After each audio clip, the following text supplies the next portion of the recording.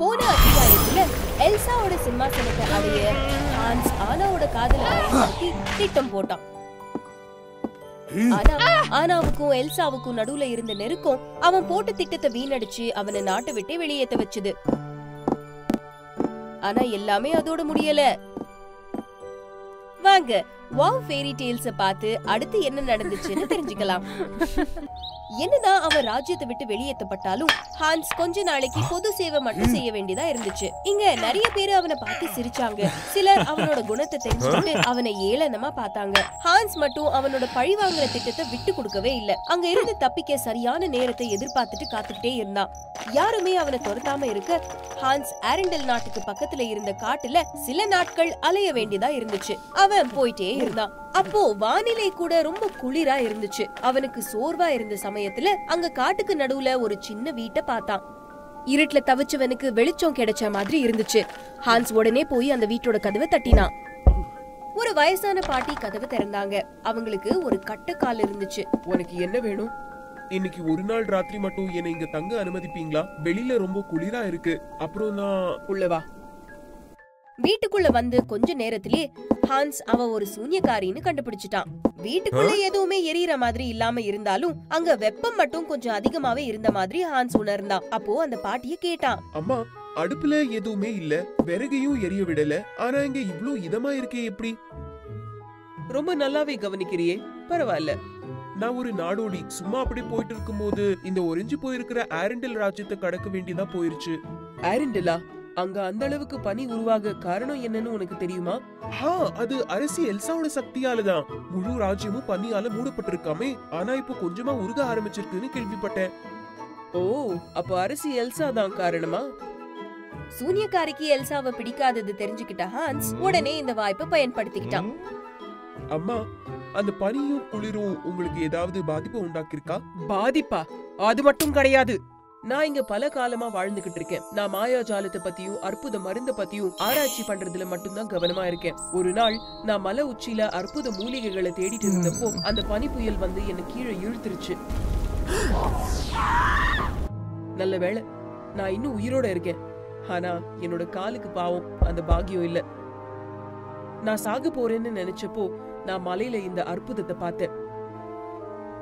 இது ஒரு நெருப்புக்கல் பல வருஷங்கள் பழைய எரிமலையால உருவாக்கப்பட்டது.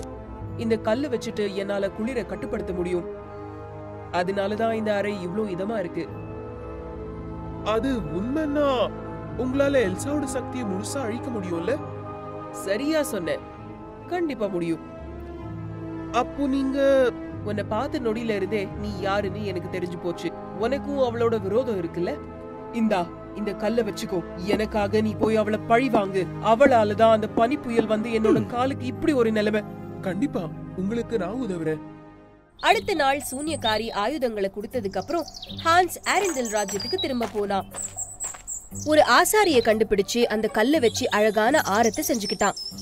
அதுக்கப்புறம் அரண்மனைக்கு போனான் அதுதான் சரியான சமயம்னு அவனுக்கு தோணுச்சு. எல்சாவோட பிறந்த நாளைக்கு இன்னும் கொஞ்ச நாள் தான் இருக்கு. இதுதான் எனக்கான வாய்ப்பு.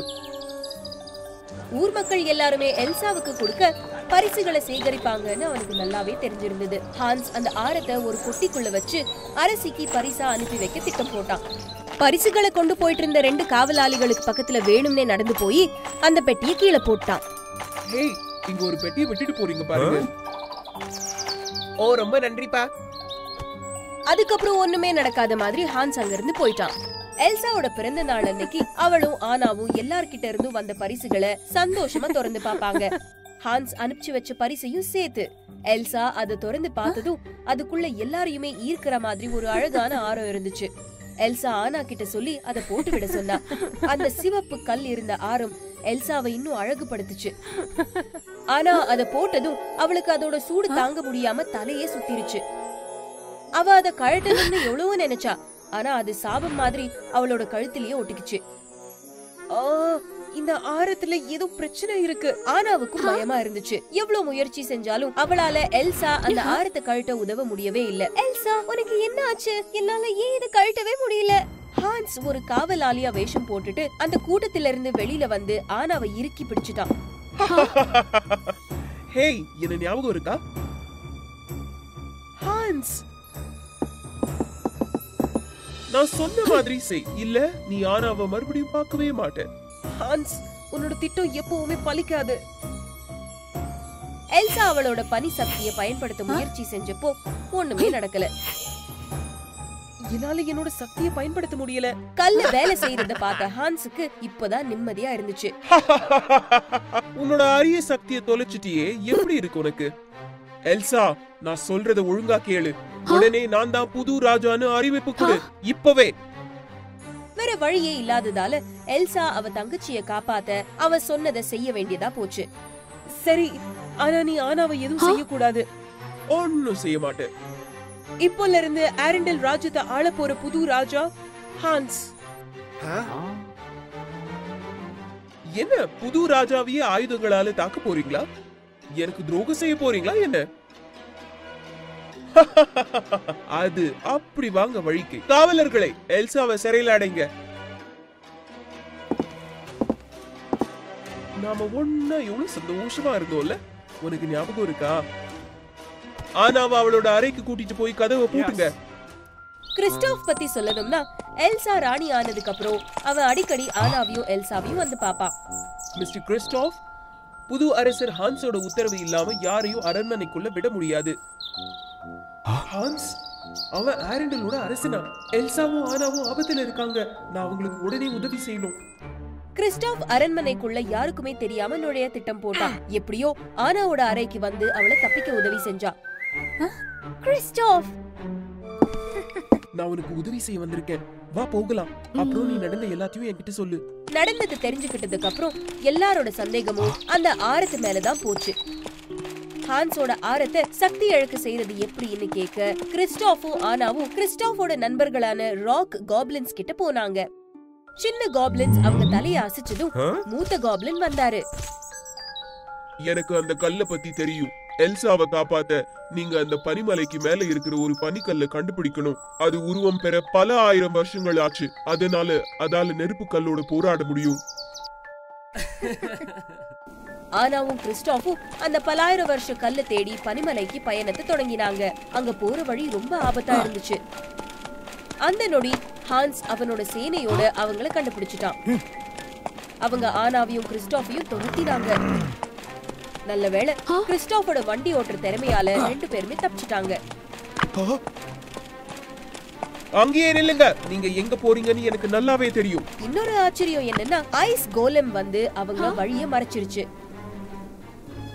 நீங்க இத கடந்து போக கூடாது கிறிஸ்டாஃபோட வண்டி மலையோட உச்சியை தொட்டப்போ அந்த கொலேம் ஒரே அடியில அவனோட வண்டியை உடைச்சிருச்சு ஹன்ஸ் அங்க ஒரு அசுரன் இருந்ததை பார்த்து சேனைய பின்வாங்க சொன்னான். இந்த அசுரனே எனக்கு இந்த பிரச்சனையை தீர்த்து வச்சிரும். என்ன ஒரு அதிர்ஷ்டமான நாள் பாருங்க. வாங்க திரும்ப போகலாம். ஆனா ஆனாவோட அதிர்ஷ்டம் யாருக்குமே இல்ல போங்க. அவ அந்த பனிக்கல் பிறந்த இடத்திலேயே போய் விழுந்தா பாருங்களேன். அதிசயமா அந்த கல்லு ஆனாவுக்கு அற்புத சக்தியை கொடுத்துச்சு.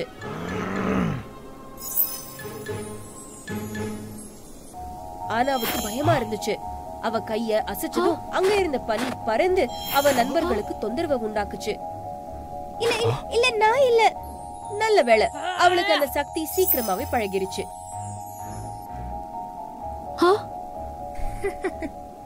அவங்க ராஜ்யத்துக்கு திரும்பி வந்துட்டாங்க. ஆனாவும் கிறிஸ்டாஃபும் இன்னும் உயிரோட இருப்பாங்கன்னு ஹான்ஸ் எதிர்பார்க்கவே இல்ல.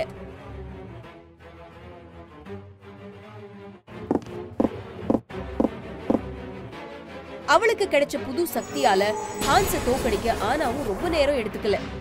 இவ்ளோ பலமான சக்தியை எதிர்த்த ஹான்ஸுக்கு சரணடைறத தவிர வேற வழியே இருக்கல. அதுக்கப்புறம் அவனை சிறையில அடைச்சிட்டாங்க. ஆனா எல்சாவை விடுதலை செஞ்சுட்டா. ஆனா அவ ரொம்ப பலவீனமா இருந்தா. ஆனா சந்தோஷமா அவளை பார்த்தா. அவளை கட்டி அணைச்சுக்கிட்டா. அவளோட சக்தியால அந்த நெருப்பு கல்ல அவிழ்த்து எல்சாவுக்கு புத்துணர்ச்சி கொடுத்தா. ஆனாக்குள்ள இருந்த அந்த பனிக்கல் எதையோ உணர்ந்துச்சு. அவ கைய விட்டு அது போயிருச்சு. ரெண்டு கல்களும் ஒளிர்ந்துட்டே சுத்தி சுத்தி வந்துச்சு. யாருக்குமே எதுவுமே தெரியல. கடைசியில ரெண்டுமே காணாம போயிருச்சு. அதோட ஆனாவோட சக்தியும் போயிருச்சு. எல்சாவும் சீக்கிரமா குணமாயிட்டா. இந்த தடவை ஹான்ஸ அவனோட சொந்த நாட்டுல கூட ஏத்துக்கவே இல்ல.